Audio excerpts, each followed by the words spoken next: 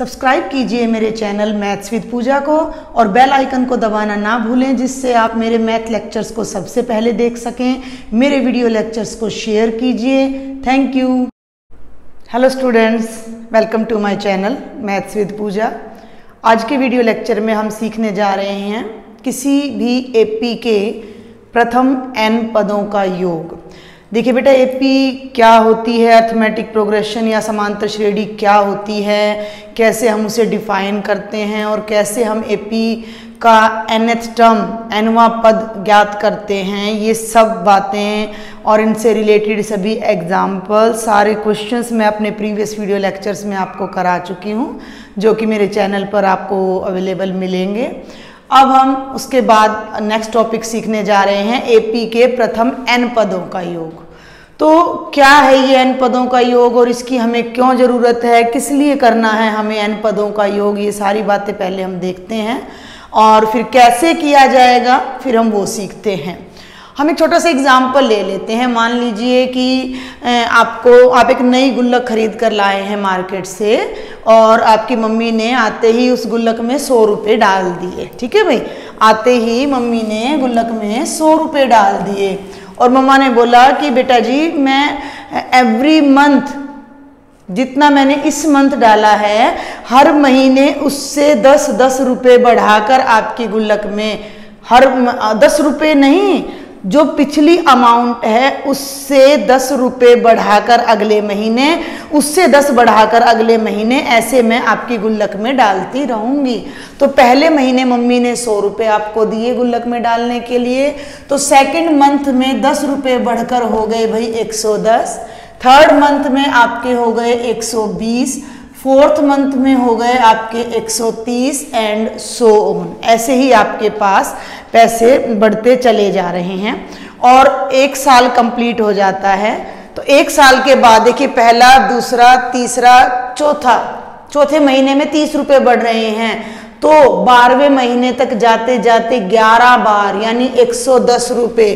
तो जो last amount आपके अकाउंट में, गुल्लक में डलेगी बेटा, वो होगी 210 रुपए।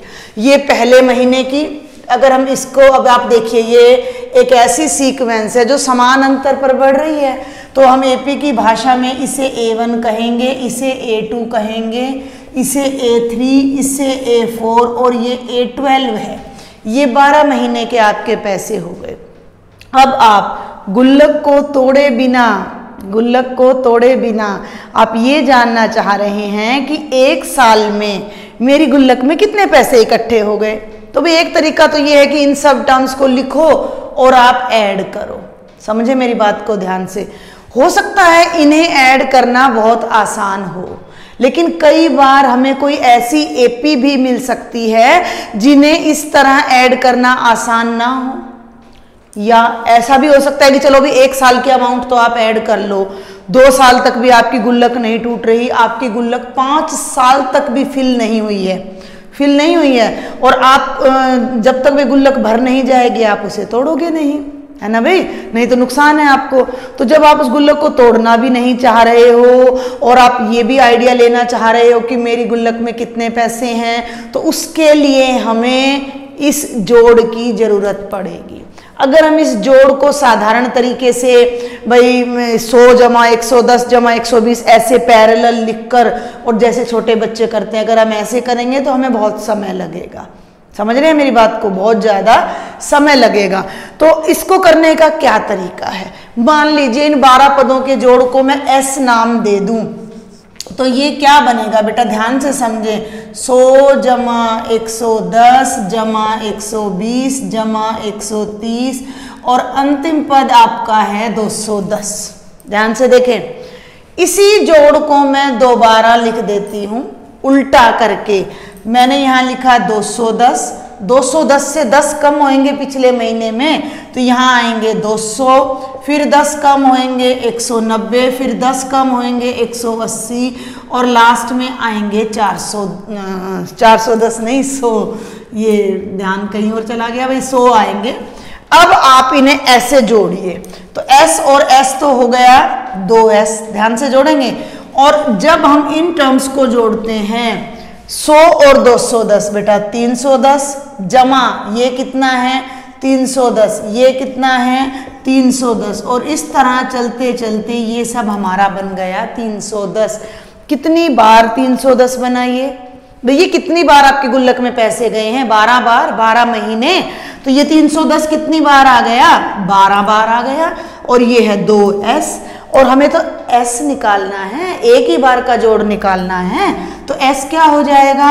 310 गुना बारह बटे दो दो छिक बारह, ज़ीरो छः छः तीय अट्ठारह यानी एक साल में आपकी गुल्लक में एक हज़ार आठ सौ साठ रुपये जुड़ गए हैं। इसी तरह आप दो साल, लेकिन दो साल के भी निकाल सकते हैं, लेकिन ये भी बहुत लंबा पड़ रहा है। अगर दो साल के लेंगे तो और भी लंबा पड़ेगा। तो क्या इसके लिए हमारे पास कोई शॉर्टकट नहीं है? क्या कोई शॉर्ट टेक्निक नहीं है? क्योंकि ये साधारण जोड़ करना भी हर बार संभव नहीं होगा अगर हमारे पास बहुत ज़्यादा टर्म्स हैं तो। क्लियर तो इसकी इसी तरीके से इसी तरीके से हम एपी को जोड़ के देखते हैं। आ, मैं अब इसको इरेज कर रही हूँ सीधा उल्टा करके मैंने जोड़ा है। तो अभी मान लीजिए कि कोई एपी है आपके पास कोई एपी है आपके पास और वो एपी है A one A two A three A four and so on ठीक है भाई? A one A two A three A four A N dash dash dash infinite AP है, यानी इसकी टर्म्स चलती जा रही हैं। तो देखो इनफाइनाइट का सम तो हम निकालेंगे नहीं, निकाल ही नहीं सकते इनफाइनाइट का। हम निकालेंगे केवल प्रथम एन पदों का योग। इस बात को ध्यान रखना। प्रथम एन पहले से लेकर एन तक के पदों का योग। तो इसे हम क्या कहते हैं? इंग्लिश में क्या कहते हैं? इसे हम कहते हैं sum of first N terms of an A P एक एपी की पहले पहले एन पदों का योग। तो इस इतनी बड़ी बार बार थोड़ी लिखेंगे हम? इतनी बड़ी टर्म हम बार बार नहीं लिखेंगे। मैथ में सिंबल का यूज़ होता है। इसे हम कहेंगे एस एन ओके तो एस एन क्या बना? एस एन बना पहले एन पद। पहले एन पद यानी A one plus A two plus A three plus A N minus one plus A N ये हमें फाइंड आउट करना है और हम इसके लिए कोई शॉर्टकट ढूंढ रहे हैं। इसी को देखो बेटा मैं एस एन को। कैसे लिख सकती हूँ? ए वन का मतलब ए ए टू का मतलब ए जमा डी ए थ्री का मतलब ए प्लस टू डी और लास्ट में ए एन माइनस वन का मतलब इससे एक कम A plus N minus two D और ए एन का मतलब है बेटा जी A plus N minus one into D इसके लिए अब हमें कोई शॉर्टकट चाहिए। तो अब हम क्या करते हैं भाई, इसी एस एन को मैं दोबारा लिख देती हूँ, उल्टा करके। उल्टा करके क्यों आप ये देखिए ना बेटा? जी, बहुत साधारण सी बात है कि एक जमा दो जमा तीन करोगे तो भी छः आएगा। और बेटा जी, तीन जमा दो जमा एक करोगे तो भी छः आएगा। तो एडिशन का ऑर्डर आप चेंज कर लीजिए, कोई फ़र्क नहीं पड़ता है। तो अगर हम इसको उल्टा भी कर दें तो भी जोड़ उतना ही आएगा। तो इस टर्म को तो इसके साथ लिख रही हूँ अब मैं। फ़र्स्ट के नीचे A plus N minus one into D उसको पीछे से जो सेकेंड टर्म है, उसको आगे से सेकेंड टर्म के नीचे लिख रही हूँ। A plus N minus two D और यहाँ क्या बन जाएगा? A plus N minus three D clear और जो ये लास्ट टू टर्म्स है तो फ़र्स्ट टू टर्म्स यहाँ आ जाएँगी। तो इसके नीचे आ जाएगा ए जमा डी और ये आ जाएगा ए हमने उसी एस एन को दो तरीके से लिख लिया। देखिए, मैं आपको यहाँ बता दूँ कि कुछ बच्चों को लग रहा होगा कि ये मैडम क्या करा रहे हैं, बड़ा लंबा सारा चल रहा है तो आपको बिल्कुल परेशान होने की ज़रूरत नहीं है। ये सारा प्रोसीजर आपको एग्ज़ाम के पर्पज़ से कुछ भी नहीं समझना है। कहीं आप सोच रहे हो कि ये मैं कैसे याद रखूँ, कैसे सॉल्व करूँ? हम सिर्फ़ इसकी हेल्प से एक फॉर्मूला डेवलप कर रहे हैं, जो कि हमें आगे सम निकालने में, जोड़ निकालने में हेल्पफुल होगा। मैं आपको डायरेक्ट फॉर्मूला भी बता सकती थी, लेकिन बहुत बच्चे ऐसे होते हैं जिन्हें क्योरिस्टी होती है कि ये फॉर्मूला डेवलप कैसे हुआ। तो ये जानना भी बहुत ज़रूरी है। तो जिन स्टूडेंट्स को समझ आए, वो इसे देखे। जिन्हें नहीं समझ आए जस्ट समझ के और छोड़ दीजिएगा स्किप कर दीजिएगा इस पोर्शन को। तो एस में एस जुड़ा तो टू एस अब ध्यान देंगे। फ़र्स्ट में फ़र्स्ट टर्म मैं अलग से जोड़ के आपको वहाँ दिखा रही हूँ। ए ए तो ये है, और plus A plus N minus one D और जब आप इन्हें जोड़ोगे तो ये बनेगा two A plus N minus one D यानी इन दोनों का जो जोड़ है, वो क्या बनेगा? Two A plus N minus one D फिर आगे चलिए, इन दोनों का ए में ए जोड़ोगे टू ए ठीक है भाई? और n माइनस टू में वन जोड़ोगे तो फिर से क्या आएगा? N माइनस वन डी इन दोनों का sum two A plus N minus one D इन दोनों का सम भी two A plus N minus one D और इन दोनों का सम भी क्या आएगा? Two A plus N minus one D और इन दोनों का सम भी क्या आएगा? Two A plus N minus one D ये एक गेम है। देखो ना, उसी को ले लेते हैं हम। देखो one plus two plus three इसको नाम दे दिया मैंने एस समझे?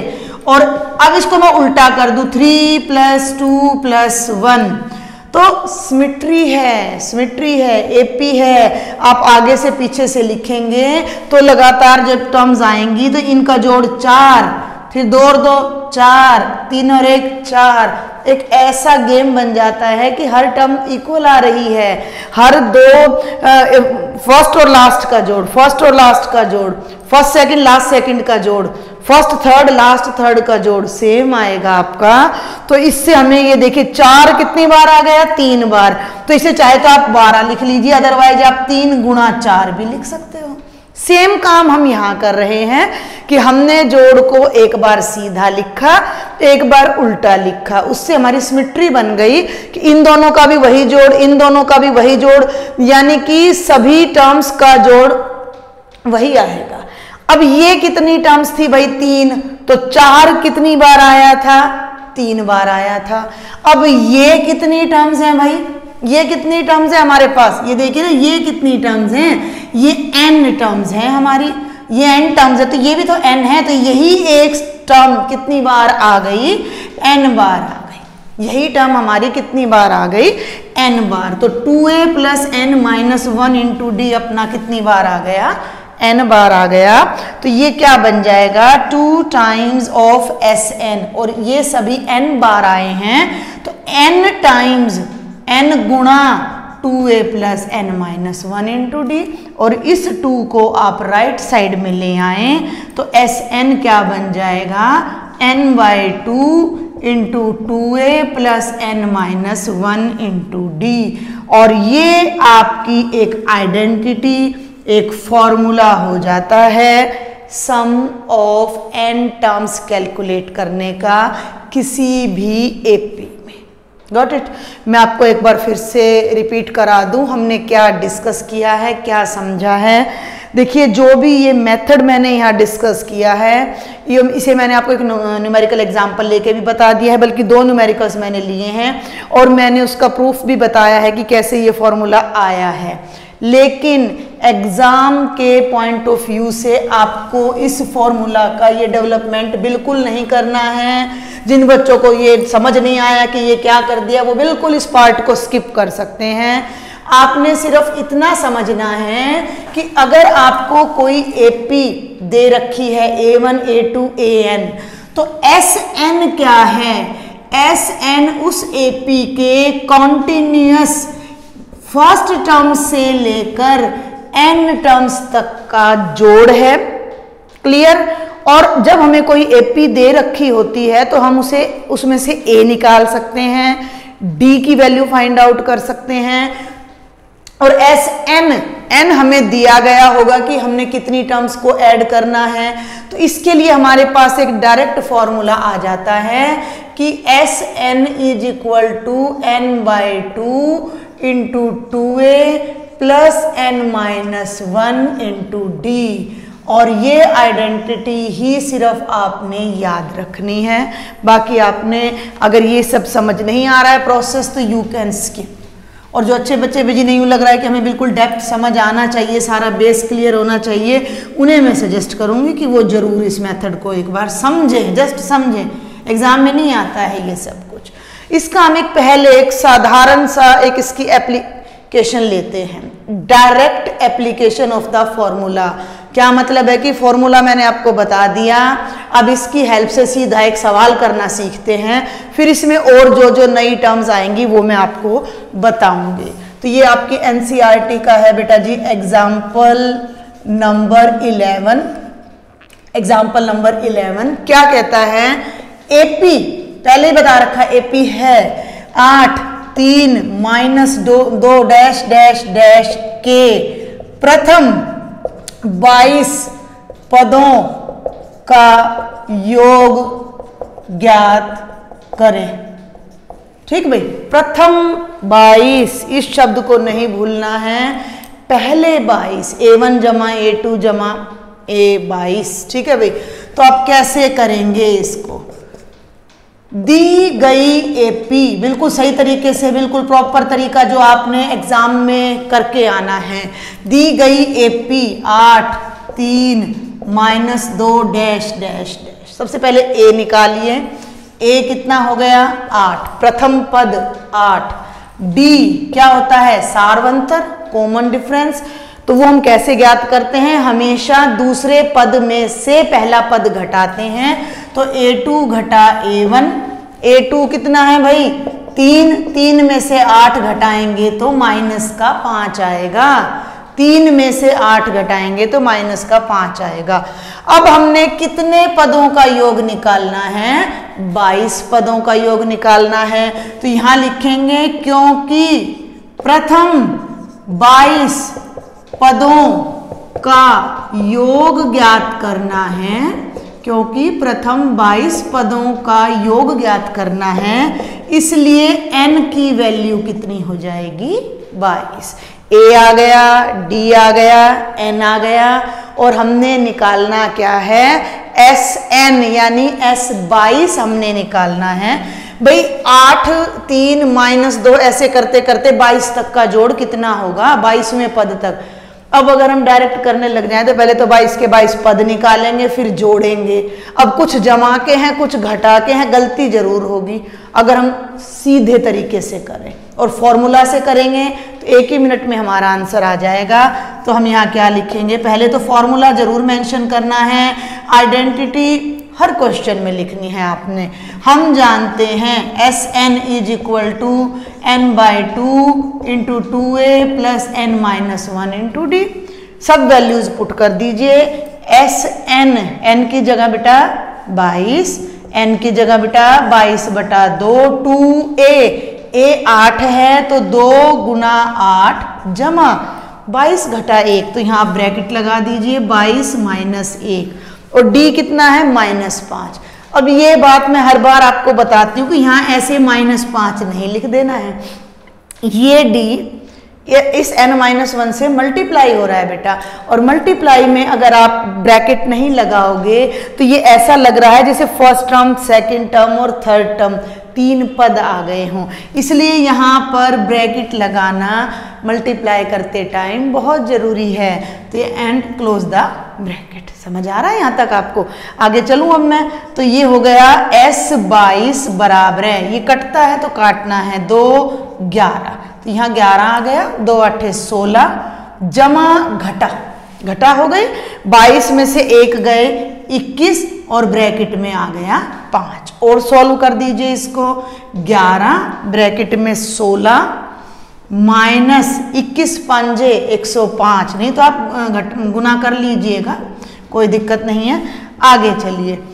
ग्यारह, ब्रैकेट में पंद्रह में से छः गए, नौ और नौ में से एक गया आठ। माइनस एट्टी नाइन तो ये आ गया माइनस का ग्यारह गुणा नवासी। देखिए 11 से गुणा करने के लिए मुझे अब एक शॉर्ट ट्रिक ध्यान आ रही है। मैं सोच रही हूँ कि मैं आपको बता दूँ कि जब भी आपको नवासी को 11 से गुणा करना हो, ये तो मैं आपको बता रही हूँ तो इतना टाइम लग रहा है। अदरवाइज़ बिल्कुल भी नहीं लगता। ये आंसर आ जाएगा। मैंने कोई वर्बल आपके आगे कोई कैलकुलेशन नहीं की है। मैंने मुँह से कुछ भी नहीं बोला। कैसे किया? जब भी किसी नंबर को 11 से गुणा करना हो 89 है तो क्या करो? 9 लिख लो। इन दोनों का जोड़ लिख लो और इस नौ आठ, सत्रह सत्रह का सात, हासिल पाई एक, उस हासिल को आठ में जोड़ दो नौ सौ उनासी आ गया। ये तो मैं आपको समझा रही हूँ तो अब इतना ज़्यादा टाइम लग रहा है। अगर आप डायरेक्ट करोगे तो बहुत जल्दी होगा। जैसे 35 को 11 से गुणा करना है तो 35 का क्या बनेगा? मुझबानी पाँच पाँच और तीन, आठ और तीन। मतलब last as it is first as it is और बीच में इनका जोड़। और ये जोड़ अगर एक से मतलब इसमें हासिल आ रही है तो वो आगे वाले में जुड़ जाएगी। जैसे भाई 25 का है 25 को 11 से गुणा करना है तो पाँच इधर, दो इधर और इन दोनों का जोड़ सात। दो सौ पिछहत्तर है ना मज़ेदार ये? कितना इंटरेस्टिंग है, आप ये साथ में देखें एक बार। इससे आपको काफ़ी हेल्प मिलती है जब आपकी कैलकुलेशन इससे फास्ट हो जाएगी। पिछहत्तर देखते हैं अब हम। पिछहत्तर को मैंने ग्यारह से गुणा करना है। पिचहत्तर को मैंने ग्यारह से गुणा करना है तो पाँच यहाँ, सात यहाँ और सात और पाँच बारह तो बारह तो लिखेंगे नहीं, दो और सात की हासिल इसमें आ जाएगी आठ आठ सौ पच्चीस बन जाएगा। क्लियर तो एक और देख लेते हैं, छियासठ ले लेते हैं छः यहाँ छः यहाँ छः और छः बारह का दो हासिल पाई एक सात सौ छब्बीस। दस सेकंड भी नहीं लगते हैं। इलेवन से इस तरह मल्टीप्लाई करते टाइम तो अब हम अपने क्वेश्चन पर एक बार पलट के वापस आते हैं। तो एस ट्वेंटी टू बन गया माइनस नाइन सेवन नाइन और ये आ गया हमारा आंसर एस ट्वेंटी टू किसी एपी के प्रथम एन पदों का योग। आई थिंक आपको समझ आया होगा। अब मैं आपको एक बात और बता दूँ कि हर बार इतने सीधे क्वेश्चन नहीं मिलेंगे आपको। ये क्वेश्चन तो था डायरेक्ट एप्लीकेशन भाई फॉर्मूला था, उसमें वैल्यू पुट कर दी और आंसर आ गया। बट हर बार ऐसे नहीं होगा। घुमा फिरा कर भी क्वेश्चन आएँगे। घुमा फिरा कर क्या क्या मतलब है? ये फॉर्मूला है। इसमें चार चीज़ें हैं। चार। एस एन यानी एन पदों का जोड़ है। एन पदों की संख्या है। ए प्रथम पद है। और डी सार्व अंतर है। इन चारों में से अगर आपको क्वेश्चन के अंदर कोई तीन चीज़ें दे रखी हैं तो चौथी जो भी डिमांड होगी क्वेश्चन की, वो आप इस फॉर्मूला की हेल्प से फाइंड कर सकते हो। अभी मैं इस फॉर्मूला का एक और वर्जन आपको बता रही हूँ, इसको फिर से देखें कि मैं इसे कैसे लिख सकती हूँ। N by two two A two A को तोड़ लेते हैं ब्रेक कर लेते हैं, इसके टुकड़े कर लेते हैं, कैसे? ए जमा ए टू ए का मतलब ए जमा ए ए और ए दो ए और plus N minus one into D इसमें और इसमें कोई डिफरेंस नहीं है। लेकिन अब हम इसे थोड़ा मॉडिफाई कर देंगे, थोड़ा बदल देंगे। यहाँ मैंने bracket Lee A plus N minus one into D और ये किसका फॉर्मूला है? ए एन का। ये किसका फॉर्मूला है? ए एन का। तो S N is equal to N by two into A plus A N clear तो ए एन एनवा पद। और अगर हमें किसी एक पी में एन ही पदों का जोड़ निकालना है तो एनवा पद लास्ट होता है। तो इसी को मैं ऐसे भी लिख सकती हूँ। कि S N is equal to N by two into A plus L, जिसमें ए आपका प्रथम पद है और एल आपका अंतिम पद है, या एनवा पद भी इसको कह सकते हैं। तो ये फॉर्मूला इस रूप में भी कभी कभी यूज़ हो जाता है और ये तो इसकी स्टैंडर्ड फॉर्म है ही है जो आपने यूज़ करनी है। तो ये मैंने आपको एस के दोनों फॉर्म अब बता दिए हैं। अब हम इससे रेलिवेंट एक और एग्ज़ाम्पल अब मैं आपको बताने जा रही हूँ। एग्ज़ाम्पल नंबर ट्वेल्व क्या स्टेटमेंट है? अब डायरेक्ट एप्लीकेशन नहीं है। क्या स्टेटमेंट है? किसी एपी के स्टेटमेंट में इसलिए लिख रही हूँ ताकि मैं यहाँ से पढ़ाऊं तो आपको और भी अच्छे से समझ आ जाए। प्रथम चौदह पदों का योग एक हज़ार पचास है। कोई एपी है? कहाँ है एपी क्या है? हमें नहीं पता। हमें सिर्फ़ ये पता है कि उस एपी के प्रथम चौदह पदों का योग, यानी एस चौदह एक हज़ार पचास है और इसका प्रथम पद दस है। प्रथम पद का मतलब ए दस है। मैं डायरेक्ट लिख देती हूँ यहाँ। ए की वैल्यू कितनी है? दस है। तो हमने क्या करना है उस एपी का? बीसवा पद ज्ञात करो। ये आपका क्वेश्चन है। अभी अभी मैंने आपको बताया है कि डायरेक्ट क्वेश्चन बिल्कुल एप्लीकेशन के नहीं आएँगे कि भाई आप ऐसे ही अप्लाई कर दो इनको। अब आपको ट्विस्ट दे दिया है। तो देखिए, पहले तो मैं यहाँ से थोड़ा साफ़ कर देती हूँ ब्लैक बोर्ड को इसको ऊपर ही नोट कर देती हूँ, इसी फॉर्मूले को। तो आपको सिर्फ़ अंडरस्टैंडिंग होनी चाहिए और ये बहुत ही इजी चैप्टर है आपका, जिसमें आपको फॉर्मूले ही दो हैं मेन तो एस एन और ए एन तीसरा कोई फॉर्मूला ही नहीं है। एस एन ए एन बस डी निकालना है तो A two minus A one उन्हीं को कैसे यूज़ कर सकते हो, वो आपने अपना समझना है इस बात को। तो यहाँ से अब हम चलते हैं। एपी के प्रथम चौदह पदों का योग दे रखा है और ए दे रखा है। तो इस फॉर्मूला पे फोकस करो। ये जोड़ दे रखा है ए दे रखा है और कुछ भी नहीं दे रखा दे रखा है। चौदह पद हैं, इसका मतलब एन की वैल्यू कितनी है?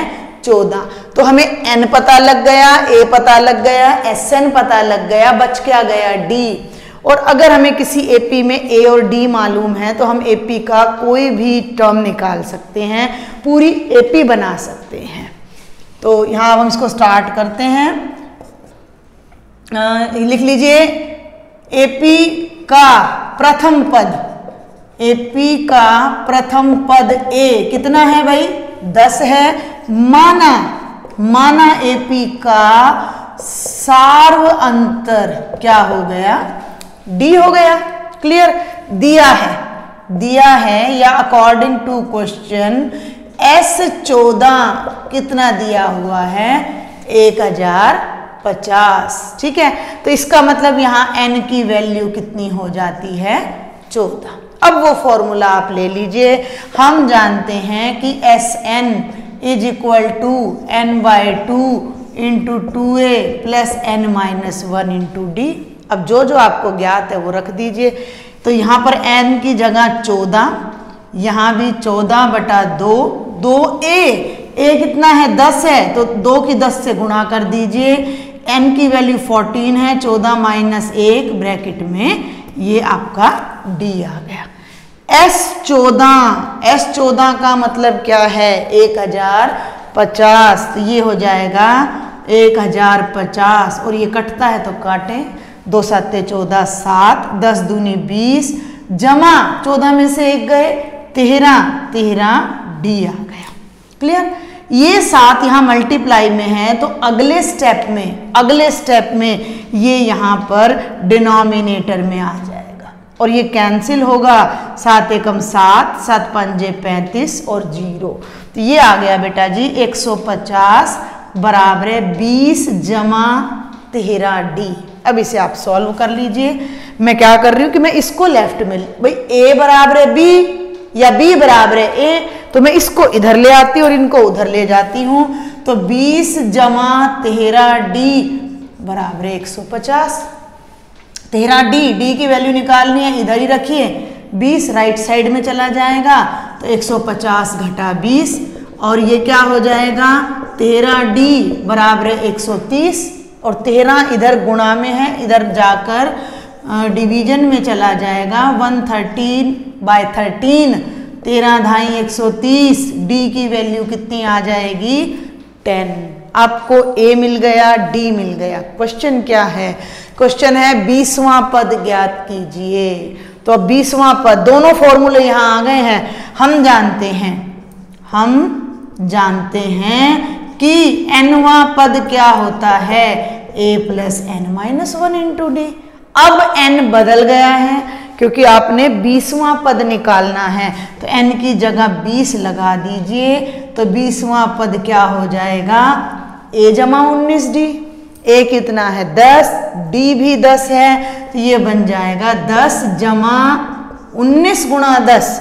और बेटा जी, ये बन जाएगा दस जमा एक सौ नब्बे, यानी कि दो सौ। देखिए एग्ज़ाम्पल बहुत आसान है, लेकिन मैं आपको अब यहाँ दो चार बातें बताना चाहूँगी कि ये ऐसा एग्ज़ाम्पल है जिसमें आपको एपी के सारे फॉर्मूले मिल गए। आपको ए एन का फॉर्मूला भी अप्लाई करना पड़ गया, यहाँ पर एस एन का भी करना पड़ गया, यहाँ पर ए है डी है। आपको ये डिफरेंस क्लियर करना आना चाहिए कि एनवा पद क्या है और एन पदों का जोड़ क्या है। किस फॉर्मूले को कहाँ लगाना है? और ये चीज़ प्रैक्टिस से ज़्यादा आती है। जितने क्वेश्चंस आप अपने आप ट्राई करेंगे बार बार जो चीज़ आपको समझ नहीं आ रही। मान लीजिए आपको ए एन नहीं आ रहा तो आप ए एन से रिलेटेड ही क्वेश्चंस को बार बार करें। जब वो आपके बिल्कुल पक्के हो जाएँ कंफर्म हो जाएँ, तब आप अगले स्टेप पे चलें। फिर उनमें जो ट्विस्ट वाले क्वेश्चन हैं कि भाई तीसरा पद इतना है, पांचवा इतना है फिर उन पे आइए आप, फिर आप एस एन पर आइए। तो आपको बहुत आसान लगेगा ये टॉपिक अर्थमेटिक प्रोग्रेशन जो है आपका, जो एपी है, ये बहुत इजी चैप्टर है आपका टेंथ क्लास का। और अभी हरियाणा बोर्ड में तो एक्सरसाइज 5.3 के जो लास्ट सिक्स क्वेश्चंस हैं 15 टू 20 वो डिलीट भी कर दिए गए हैं सिलेबस में से। तो मार्च 2021 में जो बच्चे एग्ज़ाम देने जा रहे हैं, उनके सिलेबस में एक्सरसाइज 5.3 के 15 से 21 तक के क्वेश्चन नहीं आएँगे। चलिए, हम एक और एग्ज़ाम्पल ले लेते हैं। एग्ज़ाम्पल नंबर 13 एपी चौबीस कोमा इक्कीस कोमा अठारह डैश डैश डैश का मतलब अप टू इन्फिनिटी तक चलती जा रही है। तो ये क्या कह रहा है कि इसके कितने पद लिए जाएँ? कितने पद, कितने? भाई ये एक है, ये दो है, ये तीन है तो ऐसे कितने पद लें? कितने पद लिए जाएँ कि क्या हो जाए? उनका योग की उनका योग अठहत्तर।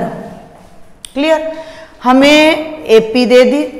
एपी दे दी तो ए मिल गया डी मिल गया। क्लियर भाई ए मिल गया डी मिल गया। अब ये कह रहे कितने पद लू कितने का मतलब संख्या?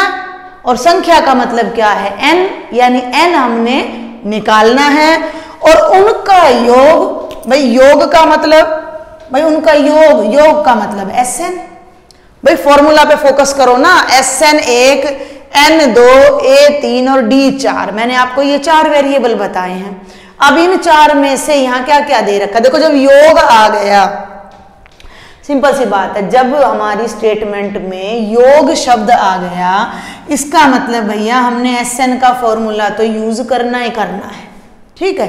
अब इस फॉर्मूला में चार अननोन है, चार में से हमें कौन कौन से पता है? तो भाई हमें एस एन पता है, भाई इसकी जगह अठहत्तर है एन नहीं पता कितने पद हैं ए पता है हमें कितना है? चौबीस है डी पता है हमें कितना है? इक्कीस और चौबीस में कितना फ़र्क है? माइनस तीन का। तो ये बातें हमें पता है तो जो नहीं पता वो आ जाएगा। क्लियर? तो चलिए अब हम करते हैं। दी गई एपी एपी क्या है भाई आपकी? 24, 21, 18 डैश डैश डैश। ए कितना हो गया? 24, डी कितना हो गया? A two minus A one. इक्कीस घटा चौबीस माइनस तीन। और माना। भाई क्या है ना, कितने पद? तो माना एन पदों, प्रथम एन, प्रथम ज़रूर लगा देना भाई। ठीक है? माना प्रथम एन पदों का योग कितना है? अठहत्तर। यानी एस एन कितना है? अठहत्तर। एस एन की जगह पर फॉर्मूला लगा दीजिए। भाई कई बार हमें फॉर्मूला राइट साइड में भी लगाना पड़ जाता है, कई बार फॉर्मूला इसके प्लेस पर भी। भाई this term is equal to this term तो चाहे तो ये लिख लीजिए, चाहे ये लिख लीजिए, एक ही बात है। तो इस एस एन की जगह हमने लिखा N by two bracket two A plus N minus one into D बराबर है अठहत्तर। वैल्यूज़ रख दीजिए। ये जो दो है, ये पूरी ब्रैकेट के डिनोमिनेटर में है। इसे तो ले जाओ राइट में। और एन हमें पता नहीं है, समझे? टू ए ए कितना है भाई? ट्वेंटी फोर तो दो गुणा चौबीस।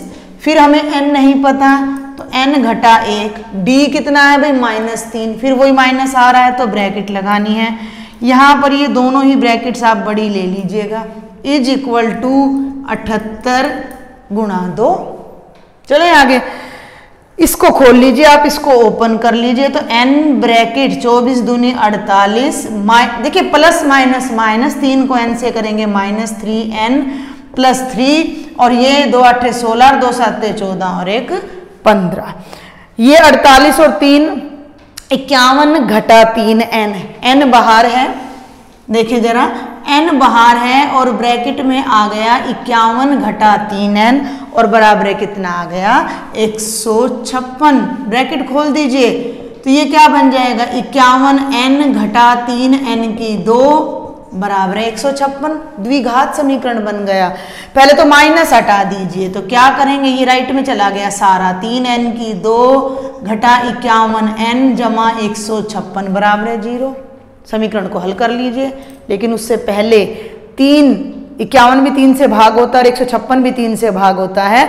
तो आप इसको तीन से डिवाइड कर दीजिए तो ये बन जाएगा एन की दो घटा सत्रह एन और तीन पाँच पंद्रह, तीन दूनी छः ब्रेक कर लीजिए मिडिल टर्म को, बीच की टर्म को। सत्रह को हमें ऐसे टुकड़े करने हैं, जोड़ो या घटाओ तो सत्रह आए। और मल्टीप्लाई करो तो बावन एकम बावन। मैंने चौथा चैप्टर करा रखा है, मेरे चैनल पर अवेलेबल है, जिसमें मैंने फैक्टराइजेशन मेथड और द्विघात समीकरण वाला जो अपना सूत्र है, द्विघात समीकरण का उससे और कंप्लीटिंग द स्केयर से। तीनों मेथड्स मैंने कंप्लीट चैप्टर फोर आपको सॉल्व करा रखा है। तो जिन बच्चों को इस चैप्टर में प्रॉब्लम है या क्वाड्रेटिक इक्वेशन सॉल्व करनी नहीं आती है, वो वहाँ से देख भी सकते हैं। तो तेरह और चार सत्रह और तेरह चौको बावन तो इसके दो टुकड़े बन जाएँगे। एन स्क्वेयर माइनस तेरह एन माइनस चार एन जमा बावन बराबर है ज़ीरो। जब आप इसे सॉल्व करेंगे तो आपको दो वैल्यूज़ मिलेंगी। तेरह और चार yes is equal to zero तो आयदर एन माइनस तेरह ज़ीरो या एन माइनस चार ज़ीरो। तो एन की वैल्यू आएगी तेरह और एन की वैल्यू आएगी चार। अब दो वैल्यू कैसे आ गई एन की? हमें ये पूछा गया है कि कितने पदों का योग अठहत्तर है?